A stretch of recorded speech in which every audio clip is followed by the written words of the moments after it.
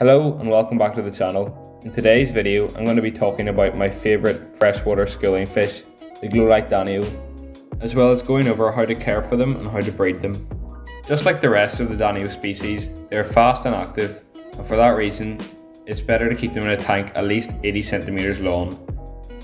In a bigger tank, you can have more fish and therefore see better schooling behaviour, which is one of my favourite things about this fish. In the wild, glowlight danios come from rocky streams in Myanmar, so they'll do well in a hill stream setup with decent flow, but they also look really really good in a planted tank against a black background. Their colours really stand out.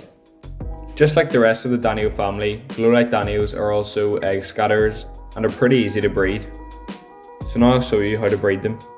Use a tank longer than 45 centimeters since they're an active fish and need space to swim. I then covered the bottom of the tub with java moss and leaf litter. This isn't for the adult fish, but it will help the fry whenever they hatch. Then cover it with a mesh. Big enough so the eggs can fall through, but small enough that the fish can't get under it. Glowlight Danios spawn in groups, so I moved 4 males and 2 females into the tank. I'm using a heater to keep the water around 23 degrees and a cycled sponge filter from another tank. I added floating plants to make them feel more comfortable. I also did 50% water changes with colder water every day. When they spawn, a male and a female will do a roll together and if you look closely enough you'll see a puff of eggs being released and hopefully the majority of them will sink down through the mesh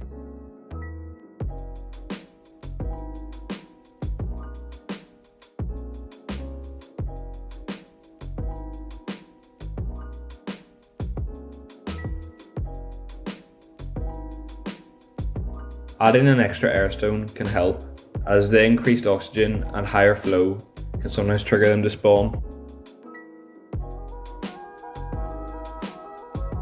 After a few days, I moved them back to their tank, and one or two days after I took them out, fry started to appear.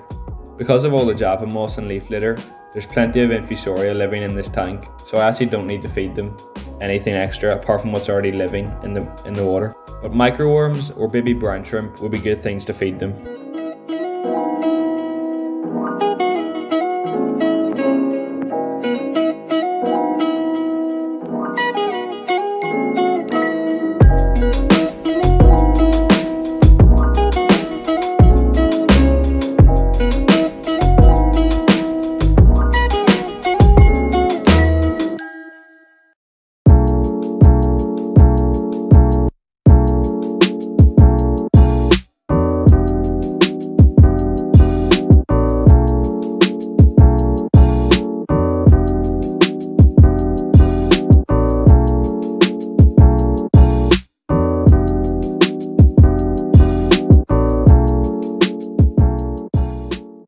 They grew pretty fast and within a couple of weeks they were big enough to go into a breeder box in my tank and they were eating flake food crushed up easily.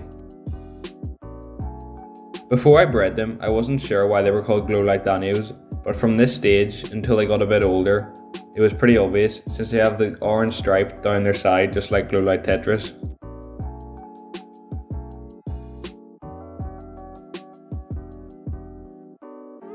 They love playing in the current, and from about one month old, I noticed the blue stripe pattern starting to appear on their side.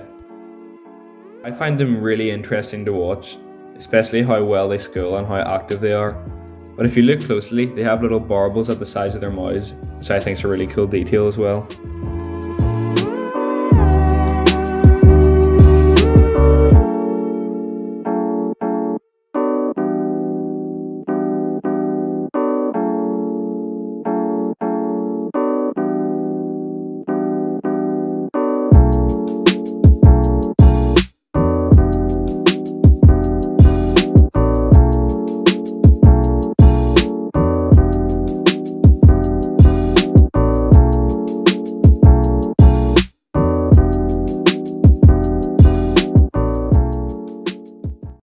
Finally, after about two to three months, they were fully grown and ready to go back into their tank with their parents.